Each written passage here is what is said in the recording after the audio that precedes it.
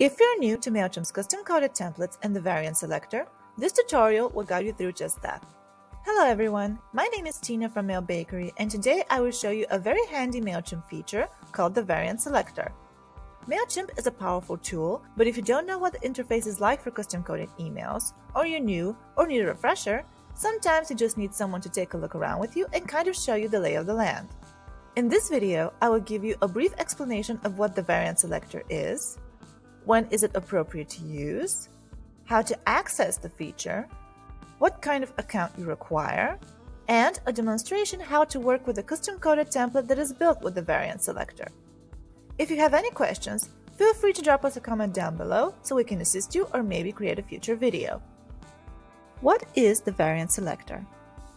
Custom-coded emails in MailChimp are built by using special template language and merge tags. One of the features available is called the variant selector. The template is divided into separate sections, and the variant selector offers a drop-down menu which allows you to switch between any number of different content sections within your email campaign. This way, you are able to create flexible campaigns using only the content blocks you need and in any order you like. When is it appropriate to use the variant selector? As great as this feature is, always having the variant selector in your template might not be the best option. For example, if you want to create a welcome or event email, you will not need this feature because the layout of the content will not change.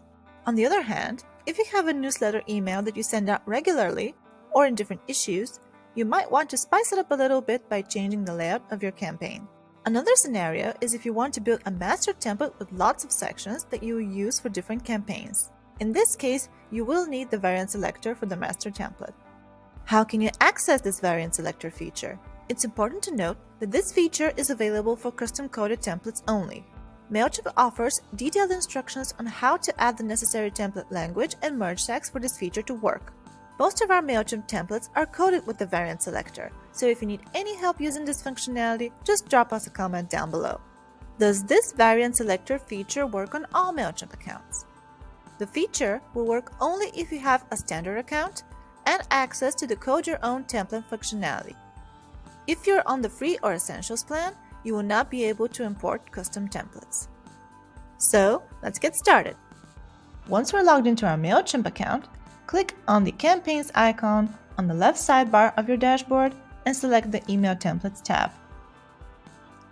Now, as you can see, we already have an uploaded template that's ready for using. If you want to know how to do this, make sure to check out our How to Import an Email Template into MailChimp video. Let's just have a quick look at the uploaded template. And to do this, click on the right arrow icon and choose Preview. This is how the template looks. Now this part is really important. The content of the template should not be edited directly inside template mode. If you do this, this will lead to the variant selectors breaking. So instead, simply create a campaign and then you'll be able to edit the text and images. To create a campaign, again from the arrow icon, select Create Campaign. This will open the campaign settings where you can add the campaign name, you can choose the list of subscribers the email will be sent to, who the email will be sent from, and you also have the option to add a subject line and preview text. You can fill out all of these details at any time, so let's just dive into the Edit Design option to start building the campaign. Now, as you can see, the only content block visible is the Hero section. This is normal. You will always begin with the first section when you create a campaign using the variant selector. To add another section, all you have to do is hover over the bottom left corner and click Add another section. MailChimp will generate a duplicate of the first section, the hero section, and then from the drop-down menu here, you can select another section. For example, article image right. To add another section, Repeat the same process by adding a duplicate of the first and then changing it to the next section which is article image left.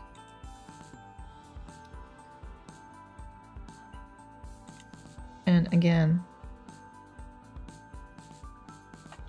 duplicate of the first and change it to the next section.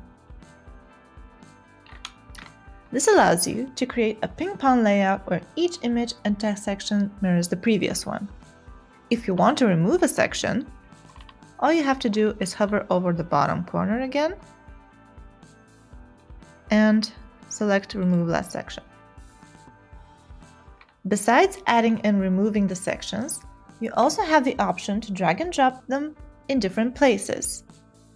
This option will show up in the upper left corner of each section. So let's say we want to place the article image left section above article image right. We can easily do this by dragging the section and placing it above. You're able to do this with all movable blocks except for the header and footer, which are static. By any chance you find that the handle icon doesn't work, Simply refresh the page and you'll be able to move the sections again. And now your campaign is all done and ready for sending. It's as simple as that. To sum things up, the MailChimp Variant Selector feature is very handy if you want to mix and match your content blocks when drafting your email campaign. This way, you can easily achieve the exact newsletter layout you've been looking for with just a few simple clicks. If you're new to the platform and we didn't cover something or you're looking for a feature you still can't find, feel free to drop us a comment below. Thanks for watching! For more tips on how to use MailChimp, go ahead and hit that subscribe button and we'll see you soon.